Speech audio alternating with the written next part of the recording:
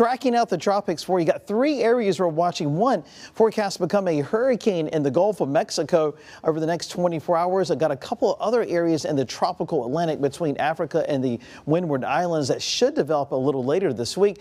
But first, let's track out that area in the Gulf of Mexico. You can see the higher cloud tops, the purple area there. This is on its way to become a tropical storm later today and then a hurricane probably late Tuesday and into Wednesday. We could really see this ramp up very quickly as it moves to the north. Uh, National Hurricane Center has a Category 1 hurricane at landfall along the Louisiana coast. This will be late afternoon Wednesday and into probably early on Thursday.